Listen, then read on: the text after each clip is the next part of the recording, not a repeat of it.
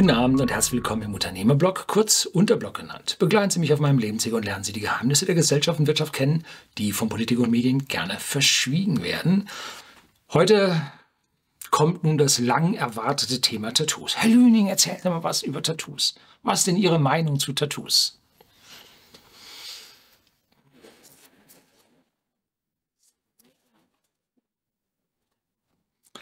Ich bin in Sachen Tattoo kein Spezialist, eher das Gegenteil. So, also hier Disclaimer vorneweg. Was ich sage, hat mit Tattoos und den Dingen, die hinter den Tattoos stehen, nichts, gar nichts zu tun. Hm? Also die Gründe, warum jemand sich ein Tattoo stechen lässt, werden heute nicht behandelt. Ja, ja, vielleicht am Rande ein bisschen. Ich werde mir den einen oder anderen kritischen Nebensatz äh, nicht verkneifen können. Ähm, wir haben auch in unserer erweiterten Großfamilie, ja, ich rede gerne mit meiner Familie und vor allem auch den angeheirateten Teilen und weit weg und so. Man kann viel lernen, tolle Sachen mit der Familie. Ähm, und wir sind auch richtig viele, ne? Ja. Ähm, nicht eins. Niemand in meiner erweiterten Familie hat ein Tattoo. So, das ist meine Ansage. Wir sind nämlich in der Beziehung dann so ein bisschen Außenseiter.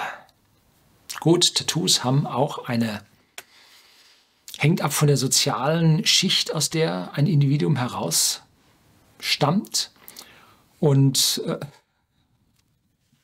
tut mir ja schon wieder leid im Voraus, äh, je höher in einer, boah, wie auch immer, oh, jetzt komme ich auf Glatteis, äh, definierten hierarchischen oder gesellschaftlichen Struktur unser, äh, unseres Landes die Leute oben sind, umso weniger Tattoos gibt es. Eine Ausnahme, berühmte, ja, Medienstars. Die haben dann wieder welche, ne? Aber ansonsten, je weiter rauf, umso weniger Tattoos. Hat was mit, ja, mit Einkommen, aber auch ein Stück weit mit Bildung nicht, sozialem Erbe, drücken wir es mal lieber so aus, mit sozialem Erbe zu tun. Wie viel haben wir jetzt in Deutschland Tattoo? Gibt es unterschiedliche Zahlen, gibt statistische Untersuchungen. Die geringsten Zahlen, die ich gefunden habe, waren 8% der Deutschen hätten ein Tattoo. Äh, man hört so 15 bis 20 Prozent hätten eins, 20 halte ich für sicherlich zu viel. Ähm, in the Whisky Store, ganzen Mitarbeiter, wie viele Tattoos haben die? Oder wie viel Prozent von denen haben mindestens eins? Gefühlt sind es 50 Prozent. Ich habe es jetzt nicht 100 Prozent nachgerechnet. Es sind auch einige Damen dabei, die ich im Schwimmbad noch nicht gesehen habe. Ähm, Frauen, vor allem jüngere Frauen, da habe ich Tattoos gefunden. Tja, wo kommt nun das Tattoo überhaupt her? Jo, blicken wir zurück, weit in unsere Geschichte, in unsere Evolution hinein. Ötzi, 5000 Jahre zurück. Ne? Der hatte 61 Tattoos der muss ausgeschaut haben. Jo. Ähm, wie, wie, hat der, oder wie war der tätowiert? Der war mit Ruß tätowiert. Das war ein Rußpartikel. Die hat man ihm unter die Haut gejubelt oder er sich selber oder wie auch immer. Angeblich wäre er auch kastriert gewesen. Ja, nein, äh, war er wohl nicht. Bloß dieses äh, Gefriertrocknen des Leichnams hat wohl zu einer extremen Schrumpfung geführt. Gut, ähm, Ganz bekannt sind die Tattoos, die Ganzkörper-Tattoos der Maori, neuseeländischen und polynesischen Ureinwohner. Ähm, und die sind jo, Ganzkörper tätowiert und auch im Gesicht. Gibt es also schon von den ersten Entdeckern. Den Segelschifffahrern gibt es da also Zeichnungen, wie die tätowiert waren. So überall, also granatenmäßig. Und die haben als Farbe äh, ja aus Kapseln von Pilzen haben sie die Farbe genommen, weil die auch so intensiv war. Also jeder hat so zum Tätowieren genau das genommen, was er hatte. Ne? Geschichtlich bedingt. Ne? Ähm, in Deutschland kamen die Leute so durch die Seefahrer, kamen die mit den Tattoos äh, in Verbindung und da, jo, die weitgereisten Leute und die hin und wieder nicht ganz mit den deutschen Gesetzen klarkommenden Bevölkerungsschichten, die dann als Matrosen mal eben weg mussten, um da irgendwelchen Strafen zu entgehen, die kamen mit solchen Tattoos und da war es dann kein Wunder, ähm, dass diese Tattoos sich dann auch in der ja, Gefangenenkultur, der Gefängniskultur, sich dann auch breit machten. Und wenn also in den, der Generation meiner Eltern ähm, sich also da Tätowierte zeigten, dann, oh, das ist Knasti und so, oder Matrose und so. Äh, ja, ähm, die Verbreitung, die moderne Verbreitung dieser Tattoo-Kultur stammt wie immer, großes Vorbildland USA. Und da ging es also an der Ost- und an der Westküste los, ja im konservativen Mittleren Westen eher, eher nicht, dann schon eher so im Süden, die Matrosen der Küstenstädte. Ähm, ja, und da machten sich dann auch ja, in einer Subkultur, machten sich Künstler breit, die also dieses Tätowieren äh, jetzt nicht auf den Namen der Freundin eines äh, Steuerrats und einer barbusigen Meerjungfrau darstellten, ähm, sondern die daraus eine Kunst machten. Aus der Gefangenenkultur heraus äh, entwickelte sich dann im Prinzip diese Motorradgang. Kulturen, die und auch die, die Straßengangs, ne, die äh, im Prinzip dann als lebenslange Zugehörigkeit äh, zu einer Gruppe sich diese Tätowierung ergaben. Ja, wir Deutschen waren da noch ganz heftig. Jo. Wir haben gewisse Menschengruppen mit Tätowierungen versehen. Grauenvoll, ne? Ja, die Juden wurden tätowiert. Aber auch die Gegner der Juden wurden tätowiert, ne? Die SS, die kriegt unter den Arm äh, eine Dienstnummer, ne? Also, unglaublich, was da abgelaufen ist. Unglaublich. Ähm, Jedenfalls ergab sich dann in den USA so gewisse Konkurrenzen zwischen den Künstlern der Ostküste und der Westküste. Gab es dann auch gewisse Unterschiede, haben wir schöne Dokumentationen drüber gesehen. Und dann, wie so immer, schwappte das rüber nach Europa. Ne? Ja. Marken. Welche Marke ist am meisten tätowiert worden auf Menschenkörper? Ja, eine Vorstellung. Ich habe was gehört, Statistik habe ich nicht gesehen. Aber es heißt, dass es Harley Davidson wäre. So, lebenslange Zugehörigkeit zu einer Kundengruppe. Das nenne ich mal Markenbindung. Ne? Auch Jack Daniels soll angeblich dabei sein mit dem schwarzen Label, soll man es wunderbar tätowieren können, aber ich kann Ihnen zusichern, im Whisky Store hat niemand, zumindest nicht, dass ich wüsste. Ja, immer vorsichtig sein. Ähm, eine Jack Daniels Tätowierung. Nein. Und ich, habe ich am Anfang schon gezeigt, nein, ich habe natürlich auch keine. Ich habe auch noch niemals, auch nicht als pubertärer 13-jähriger Jüngling, eine Tätowierung haben wollen. Nee. Ich war schon immer in meinem Leben vorausschauend. Ich wusste immer, was ich will. Und ich wusste ganz genau, dass ich mein eigenes Ding wollte und nicht das Ding von einem anderen. Ja, jetzt kann man sich ein Tattoo aussuchen, man kriegt sein individuelles Tattoo, aber das eigene ist es nicht, weil ein Künstler hat es ja gemacht. Ne? Und dann hat man irgendwo geguckt und sagt, das zusammen mit dem und dann verwurschtelt und das machst du mir und so. Nein, ich wollte, was ich, ich wusste, was ich wollte, war vorausschauend und mir war klar, dass ich irgendwann dieses Tattoo nicht mehr haben will. Wenn ich mir da irgendwas tätowieren lasse, und nachher kommt raus, das ist scheiße. Ich tätowiere mir den Namen der Popgruppe. Nachher kommt es raus, dass die rechte Lieder singen. Jetzt habe ich das Ding da auf dem Arm oder sonst wo. Und jetzt bin ich dann hier, ja, danke. Ne? Äh. Oder eine Zeit lang waren Tätowierungen auf dem Steiß bei den Damen so angesagt. Ne? Irgendwann werden die Damen voluminöser und dann wächst das Ding. Ne? Sieht es dann auch gut aus? Oder man hat hier so einen jugendlichen dicken Mucki, habe ich hier über Bodybuilding was gedreht, lässt sich was drauf tätowieren im Alter, pff, ist der Dampf raus und jetzt schrumpelt das alles zusammen. Kriegt die Meerjungfrau Bulimie.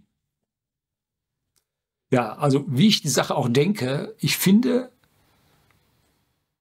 keinen lang, keine langfristige Begründung für so ein Tattoo. in der Firma denken schon, denkt schon der eine oder andere oder die eine, die andere ans Wegmachen. Ist aber teuer und ist schwierig. Kommen wir später darauf, wie das funktioniert. Jetzt kommen wir erstmal zur Tattoo-Farbe. Und jetzt kommen die üblichen Klischees, die an vielen Stellen heißt, ja, alles schon widerlegt und so weiter und so fort. Wären ja alles Lebensmittelfarben, alles untersucht, die Tattoo-Studios alle unter Kontrolle und so weiter und so fort. Ähm, aber so einfach ist es nicht, unter sich selbst reinzuwaschen und zu sagen, untersucht. Es gibt keine Regeln für Tattoofarben. Es gibt Regeln für Lebensmittelfarben. Und die werden auf Tattoofarben angewendet.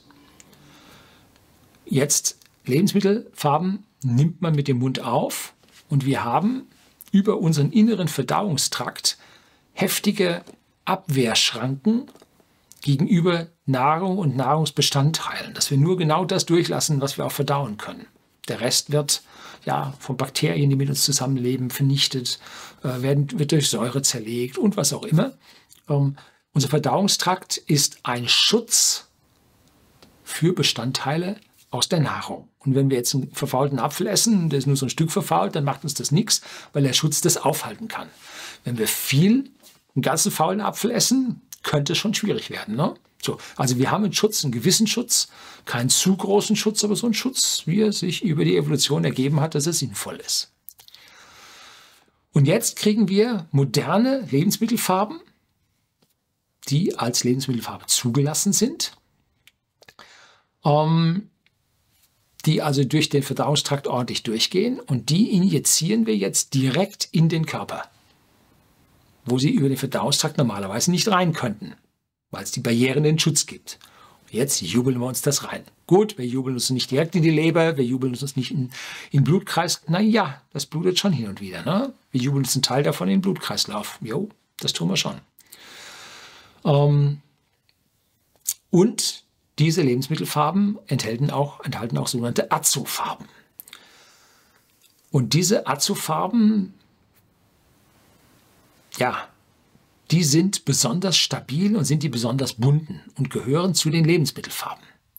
Aber Azofarben sind synthetisch. Und da gibt es eine Azo-Brücke. Äh, das sind N, zwei Stickstoffatome mit Doppelbindung und die sind sogenannt chromophor. Das heißt, die können Photonen aufnehmen, Elektronen auf unterschiedliche Bahnen heben und können Farbeffekte erzeugen. Das sind noch Azofarben. Und man hat also herausgefunden, ähm, dass sie ein, um es vorsichtig zu sagen, ein Krebspotenzial besitzen. Und deswegen müssen Azofarben auf Lebensmitteln seit 2010 gesondert gekennzeichnet werden. So. Und diese schönen, farbstabilen, lichtechten, kräftigen Farben sind Azofarben. Wenn man heute diese modernen bunten Tattoos sieht, dürften da zum Großteil Lebensmittel Azofarben drin sein, mit einem Krebspotenzial. Nun, muss nicht sein, ich wäre aber vorsichtig. Ähm, wie passiert jetzt die Tätowierung? Man knallt eine Nadel in die Haut, das ein Loch ist, und spritzt die Farbe rein. Heizt man da rein, äh, richtig heftig. Ähm, und jetzt perforiert man im Normalfall eine Zelle das bedeutet den Tod dieser Zelle. Ähm, und jetzt muss dieses Gewebe, es gibt eine Entzündung, das ganze Ding entzündet sich, jetzt muss man also da aseptisch und so weiter, aber das hat man wohl alles heutzutage mehr oder weniger im Griff. Wenn man dann gerade hinter dem Bahnhof, Entschuldigung, es gibt auch gute Tätowierer hinterm Bahnhof. Ähm, so, ähm, und jetzt muss der Körper sich heilen. Jetzt muss der erstmal heilen und dann sagt der Körper, oh, da ist etwas, das gehört an diese Stelle nicht hin. Ich habe einen DNA-Bauplan und nach diesem Bauplan gehört dieses Farbmolekül hier nicht hin. Oder dieses Pigment, äh, dieser Fremdkörper. Und jetzt läuft eine Mimik im Körper an, die versucht, diesen Fremdkörper loszuwerden. Muss wenn man früher irgendwo einen Dorn sich reingerannt hatte, äh, dann fing das auch Eitern an und so und dann auch versucht, das Zeug wieder loszuwerden.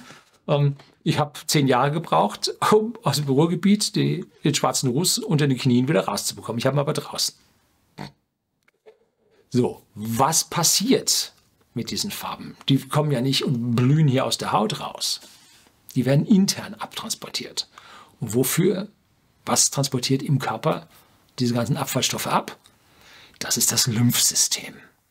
Und mit diesem Lymphsystem werden nun die kaputten Zellreste und die Farbpigmente in die Lymphknoten. Hier von Arm, da, hier und so. Überall haben sie Lymphknoten. Da werden die hintransportiert. Man hat also Leichen untersucht, seziert und hat geguckt. Und diese Lymphknoten von Tätowierten sind richtig dunkel, sind richtig farblich dunkel auffällig. Statistische Untersuchungen sind noch nicht fertig, weil so lange weiß man das noch nicht. Ähm, ob nun diese Farbstoffe im Lymphsystem zu Schäden führen. Also wenn so ein Lymphknoten schwarz ist, also wir werden nicht wohl. Tut mir leid. Denn im Prinzip die Aufgabe des Lymphsystems ist es ja, diese Abfallstoffe zu sammeln und dann auszuwerten, was noch machbar ist und den Rest dann äh, über Nieren und so weiter auszuscheiden. Ne? Das muss dann weg. Um, ähm, und auf einmal bleibt der Müll da drin. Ne? Müllkippe im Körper, dein Lymphknoten. Ähm. mit dem Tattoo passiert was Ähnliches. Der Körper greift nun diese Pigmente an, permanent. Und jetzt entfärbt sich das. Die, die nicht so stabil sind, entfärben sich und am Ende schaut es aus wie das Glas äh, bei den Wasserfarben, nämlich schmutzig braun. Wenn man alle Farben miteinander mischt, wird es am Ende schmutzig braun. So, und diese Tattoos haben irgendwo so ein Zwischending zwischen ja, dunkelblau, grün, schwarz irgendwo da. Ne? Kann ich ja regelmäßig schön sehen. So ein Tattoo, was mal 10, 15 Jahre an einem Fleck ist. Also die alten Tattoos schauen nicht schön aus. Ne? Was mit den neuen passiert, weiß ich nicht. Ja. Ähm, das war das. Sicherlich ist das eine oder andere Tattoo schön. Finde ich auch, keine Frage.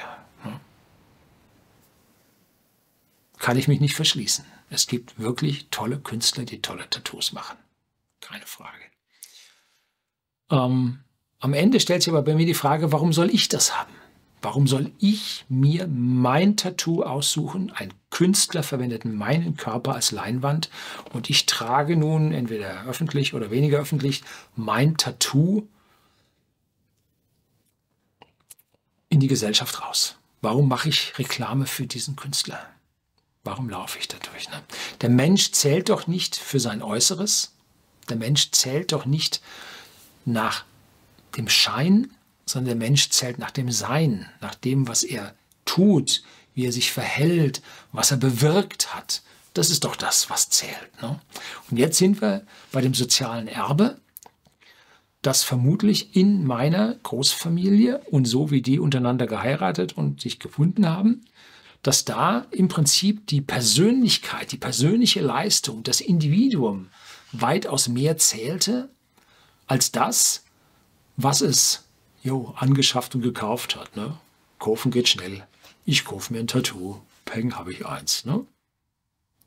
Sich aber ein Wohlstand, ein Haus, ein Respekt, eine Anerkennung, eine Liebe zu erarbeiten, da braucht es ein bisschen mehr als nur Geld, um sich ein Tattoo zu kaufen. Ne?